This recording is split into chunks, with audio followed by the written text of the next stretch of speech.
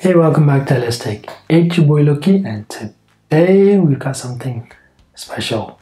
First of all, I want to give a big shout out to everyone who's been here supporting me past these few years, and literally amazing. Thank you for that, and a happy new year. We're gonna start 2021 really amazing. It's gonna be a great year, and to start off the year, I want to announce something.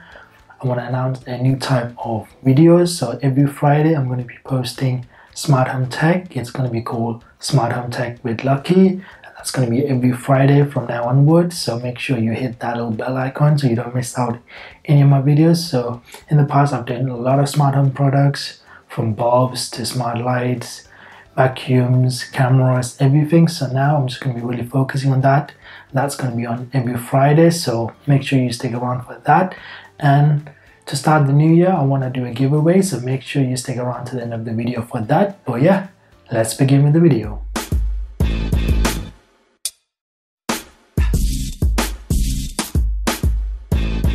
Thank you for watching LS Tech.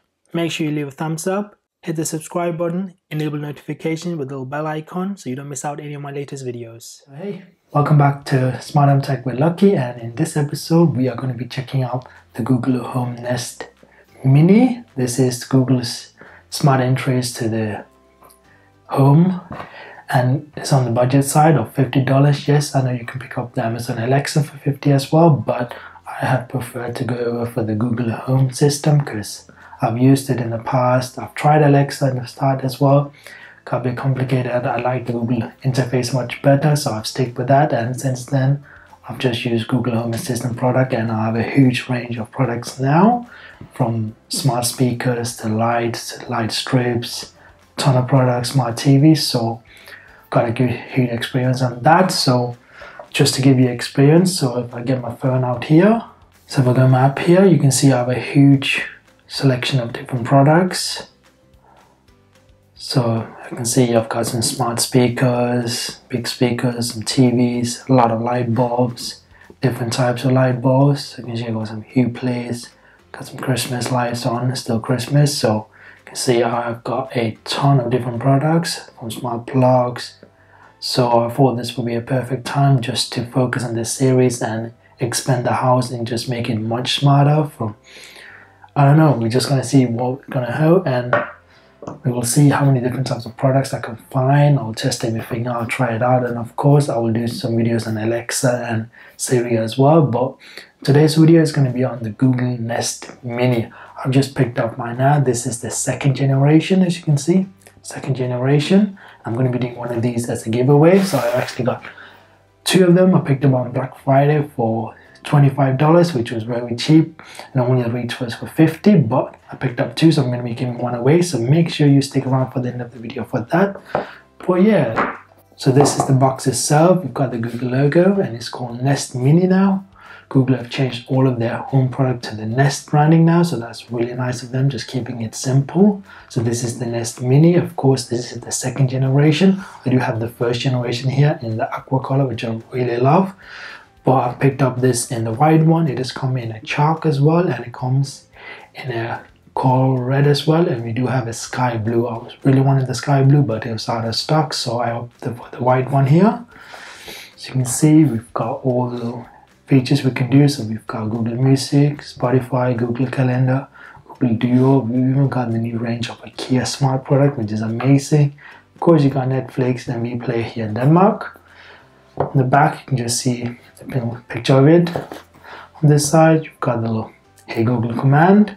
And of course i'm going to do my best to mute all the google commands so it doesn't activate your google home minis at the home and goes and do some random stuff. But yeah let's just peel this packaging off.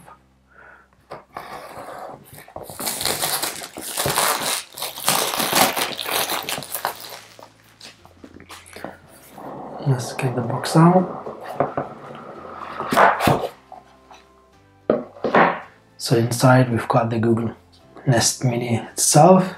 It's just called Nest Mini now, but yeah, let's put that to the side and see what else we get included. So we've got a long cable.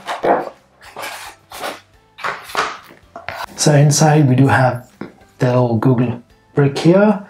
Of course, Google have now opted for a dedicated power brick, which I am not a big fan of. The previous generation micro B, which was really much nicer, but this time they opted for a dedicated plug, which I'm not a big fan of. Would have been nice to see type C, even micro B would have been fine, but a dedicated one, not a big fan of. And the plug size is still decent and small. Of course, I've got the EU version here, but of course this comes in a UK as well as USA version. Let's have a look at the documentary, see we've got included. So we've got some simple setup guys and how to get everything set up and running. If you're not familiar with that, but I will go over that anyway. So let's just get rid of that and let's have a look at the device itself. So this looks really nice I have to say. Of course we've got the same design as the previous generation so not a huge difference there. Let's get them out here. As you can see they're very similar here. Of course in the back this one just had that rubber feet but this one has it fully around where the previous generation had plastic here and then you had the rubber feet but this one the bottom is fully rubber so that's nice and of course you have this new mounting slot. So we have this mounting slot here, very nice. So you can mount this on the wall, very simple, just a screw and it will just be on flat on the wall, which is nice. So that's a nice touch. I'm to add that. Of course, you can see from micro B to that dedicated plug. And of course, you have that little mute switch there, which is really great, nice to use. Nothing much on the deep bottom here. But design wise, they look actually the same of course the new one has improved sound quality and mic array so that's really nice tiny improvement but it makes a huge difference and of course that mounting thing is so nice because I have one of these in the bathroom and I've mounted that using some sticky tapes so now with this it will be much nicer and simpler to mount it against walls because I've seen so many third-party mounting. And now you don't really need that. The google just fits in there so nicely which is really great touch of them. So of course on the front you do have those four indicating led lights there as you can see on the old, old generation there. Of course you have your volume up and down buttons as well which is really nice. So what i'm going to do i'm going to plug this in power, power it on and we'll do the setup so it's now on as you can see we've got the four indicating light I've said hi and everything and it's asked me to set up using the Google Home app. So what I've done, I've opened my Google Home app here. So the simple way to do that is click on plus sign. Of course, you might have noticed I have the Google Nest Setup Mini because it's already detected it, but generally just hit the plus icon, set up device, and you want to set up something new. And it says Google Chromecast Google Nest devices, so we're going to click on that. And it's, of course, it's going to be in my home.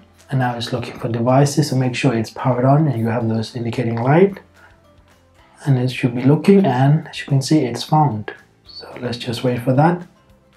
As you can see it's found a Nest Mini. And of course that's the one I want to set up.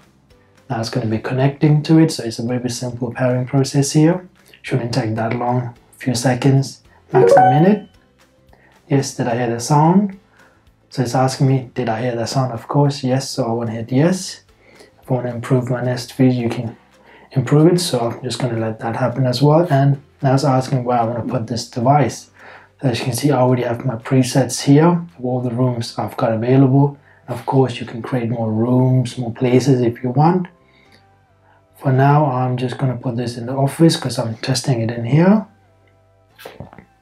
As you can see, it's asking if this one to be Office 2 speaker. Of course, yes. Right now, I'm going to be using this as a secondary one. Of course, it's asking me to connect to the Wi-Fi. So of course, it will show up all the Wi-Fi's. If you already have one connected, it will show up that. So I'm going to hit next. And then it's asking for the passwords. So you just want to enter that. So let me do that quickly. Now it's connecting to the Wi-Fi. So this might take a few seconds, a minute, depending on your internet connection. So once they're loading, and it's connected. So that's good. You can see the lights are now going up and down and now it's asking me to set up Google Assistant but I already have my voice pre-installed so it shouldn't request me to do that but if you haven't it's going to ask you to do that and you want to say the Google command words a few times and it will recognize your voice and then you can carry on with that setup. Of course if you want to set up some personal resource you can always do that and of course you can change your voice if you've got different ones you can do that I'm just going to stick with one. Of course, Now it's asking my default music app. So if you got Spotify, you can do that.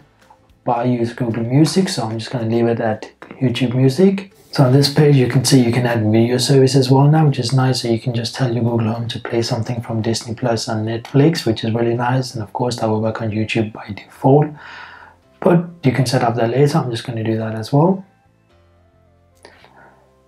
And of course, if you do have Google Duo, you can use that to get phone calls and everything continued, which is really nice. You can do calls between Google Home Minis and Google phones as well, which is really nice. But I'm not gonna do that. Stay in touch, of course, with the latest features. Up to you. I'll just sign up, so I will get notified if there's something new Google coming out, which is always nice. It enables me to test things and make videos on that. But yeah, and now it's saying I'm almost finished. So the device name, service, I've got Spotify, and YouTube Music, Wi-Fi, and I've got my video calling as well. I love voice calling. Gonna hit next. And then giving me the control settings here, as you can see. So let's just go through that. So pause and play, you just want to tap. So the center to pause and play. Volume up and down, as you can see. Really nice. The LED light indicates the volume as well, which is really nice. So we're gonna hit next, and then it's showing where the mute switch is. So put my phone down, and if I find the switch here, I can then press it the off, The mic's off. and it lets me know the mic is off. The microphone is back on. The microphone is back on, so that's nice. So we're gonna hit next, and now this Office Speaker 2 is ready, which is this one. And Hi, I'm your Google Assistant, here to help. To learn a few things you can do, continue in the Google Home app. that's a bit loud, so it's already asking me. Of course, you can change. So of course, it's already asking me to go in the Google Home app to see the things I can do, and it's already showing up here. As you can see, we've got music play, get answers, get stuff done, control your Chromecast, which is really nice. But I'm just gonna hit finished, and if I scroll down to Office, you can see I have two speakers now. So I've got this one here, I've got that one there as well, which is really nice. So of course, I'm going to put this somewhere else for now, but it works. So let's just try some stuff out and see how well it works. So if you want to change the voice of your Google Home, you can do that. So you just want to click on your icon here, go to Assistant Settings, and it'll be Assistant Voice. So you can see I've only got two options because I live here in Europe in Scandinavia. We've just got a female and a male voice, but depending on where you live, you might have different color options. So Assistant. If So, you like this voice, that's the male version. Using it. Using it. Just stop here. and that's the female version. Of course, I'm just going to leave it the female version. It just sounds much better. So let's just test out the Google Home Mini and get some answers. So what's the weather like today? Today in Hainesvig, it'll be cloudy, with a forecast high of 2 and a low of minus 2. Right now it's 1 degree with fog. So that's simple information. Let's try getting some lights here. Turn off the desk light. So you can that just went off in the background. Turn off the lights in the office. Now both uh, went out because I have two light strips and they're two different names. So one is called desk light and one is called hue light. So different names, but yeah, let's turn them on again. Turn on lights in the office. Now they're both on, and of course you can do color change as well. So change office lights to red. You can see now both of them changed to red, which is really nice. So you've got the controls there from voice. You can just set other stuff like you can set reminders. There's just so many stuff. I've got links in the description for so many things you can ask your Google. I've done over 100 different things you can ask, which is really amazing. So do check out those videos. But yeah, it's really nice. So it's very simple and it's just a really nice little device having around in the house. It's getting times, alarms done. It's really handy. And of course, when you start adding more smart devices, you can start controlling them, turning on lights. There's so many things when you get smart vacuum cleaners, doors, cameras, you can do so many things, which is really nice. But yeah, this is my video on the Google Nest Mini second generation. I hope you enjoyed the video. But as I said before, I'm going to do a giveaway. So, so I said previously, I'm going to be doing a giveaway. So I'm going to be giving out a Nest Mini to one of you, to one of my lucky subscribers. The only thing you need to do is make sure you are subscribed to my channel, leave a like, and leave a comment on one of your great features of the Google Nest Mini or even Alexa or Siri. It doesn't matter what do you use your Google Nest for or what do you use your smart devices for. Is this to turn on light? Getting calendar updates or just weather updates, let me know in the comment section. And in two weeks time I will pick a winner. And on the 15th of January I will announce the winner on my channel. So make sure you do not forget to subscribe, leave a like and comment so you can win one of these little amazing Nest Minis. But yeah, as always, thank you for watching the videos. And thank you for all the support you've shown me over the years. And I hope 2021 will be an amazing year. I'm going to have so many great contents, videos. I've got a lot of things planned out, so make sure you subscribe to my channel. Hit that little bell icon so you don't miss out any of my latest video. But as always, thank you for watching the video and I will see you next one. Take care.